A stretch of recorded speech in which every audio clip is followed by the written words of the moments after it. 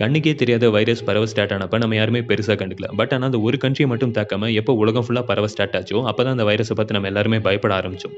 அதே மாதிரி தான் சைனாவில் இப்போ ஏதோ ஒரு பயங்கரமான விஷயம் நடந்துட்டு இருக்கு. அண்ட் வழக்கம் போல் சைனா உலகத்துக்கிட்ட இருந்து அதை மறைச்சிட்டு இருக்காங்க.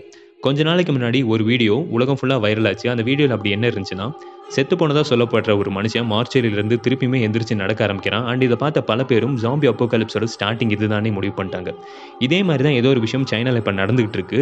அண்ட் அதனால தான் சைனாவில் இறப்பு சதவீதம் ரொம்ப அதிகமாக இருக்குது அண்ட் எல்லாருமே குவாரண்டைனில் திருப்பியுமே இருக்காங்க. கொரோனாக்கு மருந்து கண்டுபிடிச்ச பிறகுமே.